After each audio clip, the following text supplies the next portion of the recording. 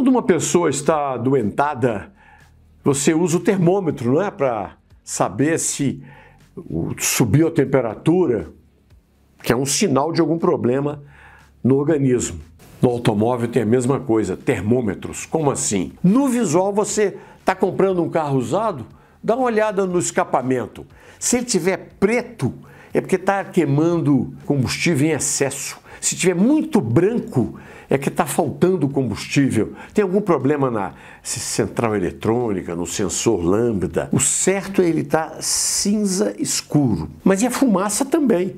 Acelera lá o carro. Saiu a fumaça muito preta, muito escura, sinal de que está com excesso de combustível também. Se ela estiver sendo meio azulada, é porque está queimando óleo junto com o combustível.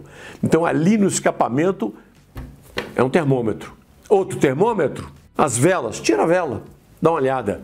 A vela indica direitinho como é que está a combustão interna do motor. Além da vela, você pode ir também nos pneus. O pneu está desgastado irregularmente, a banda de rodagem gastou de um lado, não gastou do outro. Pode ser um simples alinhamento, mas pode ser um complicado empeno, distorção da carroceria.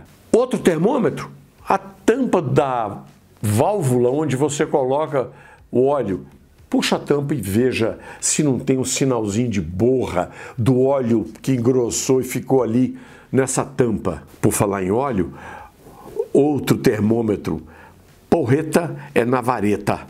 Qual?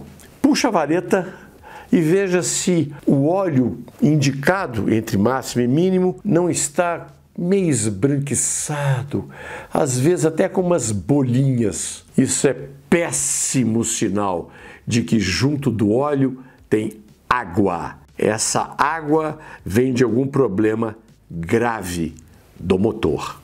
Percebeu como é que se identifica as principais doenças de um automóvel só no visual antes de levar para casa um usado que vai te dar uma pilha de aborrecimentos no futuro? Você viu esse vídeo do Autopapo no YouTube? É claro que você já assinou e já cutucou o sininho, porque senão você não vai ser notificado dos nossos próximos vídeos. Azar seu, porque você vai perder uma série de vídeos altamente informativos para o motorista e para o dono do automóvel, exclusivos do Autopapo. Mas além do YouTube, você pode se informar a respeito do automóvel através dos nossos vídeos, também no TikTok, no Instagram, no Facebook e no nosso portal autopapo.com.br.